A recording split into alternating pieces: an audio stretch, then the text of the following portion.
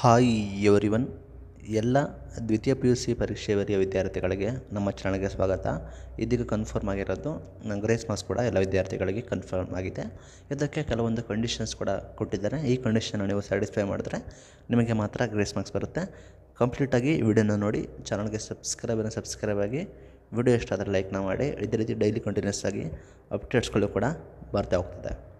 ಇಲ್ಲಿ ಮಾನ್ಯ ಕರ್ನಾಟಕ ಶಾಲಾ ಪರೀಕ್ಷಾ ಮಂಡಳಿಯವರು ಕೂಡ ಪ್ರಕಟಣೆ ಮಾಡಿದ್ದಾರೆ. ಎಸ್ ಎಲ್ ಸಿ ಅದೇ ರೀತಿ ಪಿ ಯು ಸಿ ವಿದ್ಯಾರ್ಥಿಗಳಿಗೆ ಗ್ರೇಸ್ ಅಂಕಗಳು ಕೂಡ ದೊರೆಯುತ್ತದೆ.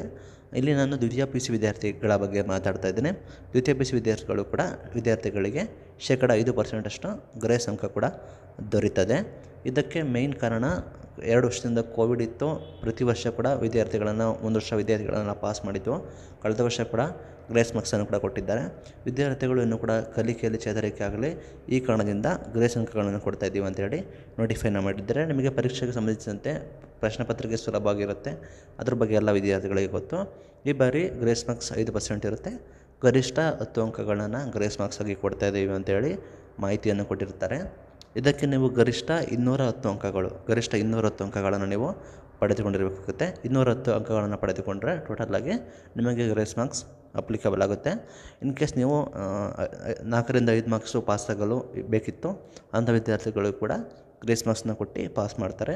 ಈ ಕಾರಣಕ್ಕೆ ಶೇಕಡ ಐದು ಪರ್ಸೆಂಟ್ ಅಷ್ಟೇ ಗ್ರೇಸ್ ಅಂಕ. ಇದು, ಇದರಿಂದ ಸಾಕಷ್ಟು ವಿದ್ಯಾರ್ಥಿಗಳು ಪಾಸ್ ಆಗ್ತಾರೆ. ನಲ್ವತ್ತು ಸಾವಿರ ವಿದ್ಯಾರ್ಥಿಗಳಿಗೆ ಇದು ಹೆಲ್ಪ್ಫುಲ್ ಆಗುತ್ತೆ. ಈ ವರ್ಷ ರಿಸಲ್ಟ್ ಕೂಡ ಇನ್ಕ್ರೀಸ್ ಆಗುತ್ತೆ. ಪರೀಕ್ಷೆ ಕೂಡ ಸುಲಭವಾಗಿರುತ್ತೆ. ಈ ಕಾರಣಕ್ಕಾಗಿ ಗ್ರೇಸ್ ಅಂಕಗಳನ್ನು ಕೊಡ್ತಾ ಇದ್ದಾರೆ. ನೀವು ಪರೀಕ್ಷೆ ಚೆನ್ನಾಗಿ ಬರೀರಿ. ಇನ್ನು ನಾಲ್ಕು, ಐದು ಮಾರ್ಕ್ಸು ಹತ್ತು ಮಾರ್ಕ್ಸು ಪಾಸ್ ಆಗೋಕ್ಕೆ ಬೇಕಿದ್ದರೆ ಅಂಥ ವಿದ್ಯಾರ್ಥಿಗಳಿಗೆ ಗ್ರೇಸ್ ಅಂಕಗಳನ್ನು ನೀಡಿ ಅವರನ್ನು ಪಾಸ್ ಮಾಡ್ತಾರೆ. ಅವರು ಡಿಗ್ರಿ ಎಜುಕೇಷನ್ ಮಾಡಲಿ, ಅವರ ಫ್ಯೂಚರ್ಗೆ ಹೆಲ್ಪ್ಫುಲ್ ಆಗಲಿ ಅಂತೇಳಿ ಈ ಸ್ಕೀಮನ್ನು ಕೂಡ ಅನೌನ್ಸ್ಮೆಂಟ್ ಮಾಡಿದ್ದಾರೆ.